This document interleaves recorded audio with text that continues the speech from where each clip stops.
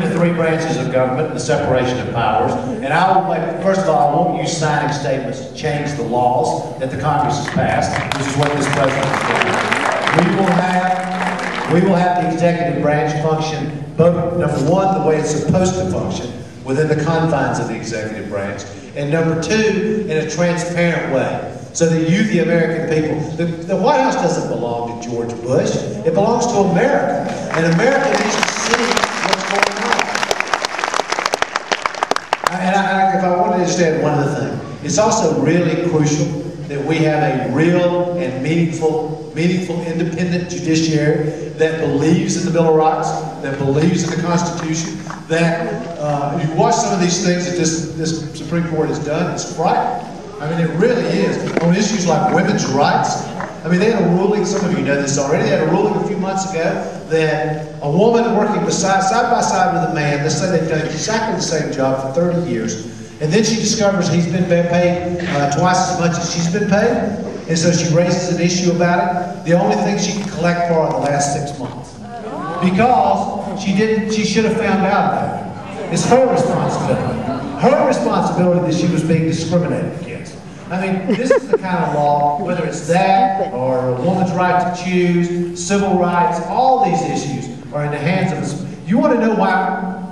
One of the reasons, besides the war and, and what's happening here, that this election is so important because the next president is going to is going to nominate one or more Supreme Court justices, and we must nominate Supreme Court justices. And I will do this who have a clear and proven record of believing in civil rights, in women's rights, in equal rights, who believes in the Bill of Rights, who believes in the Constitution. Somebody who will not be swayed or influenced by public opinion or public passion, but will actually enforce the law and the Constitution, and will make and who believes that every person who comes into the court system has exactly the same rights and exactly the same value. That we don't, the big corporations aren't treated differently than anybody else. Who believes in environmental laws? Who believes in health laws? I mean, we need a, pres- uh, a, a Supreme Court justice who believes in those things. And the only way to do it is to make sure that we win the election,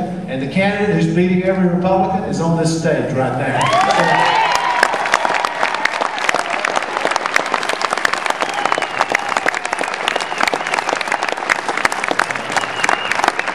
I wanted to say something. I see other hands up that I didn't get to call on. Listen, if you will, if you have a question and you're willing to go on the internet to johnedwards.com, say you are here, please. I will be happy, happy to answer your question. Now, I'm asking, I said this earlier, I'm asking all of you to go to the caucuses, to join us in this cause, because this is a movement for change. And we're asking you to be part of this movement, to do the things that America needs to do.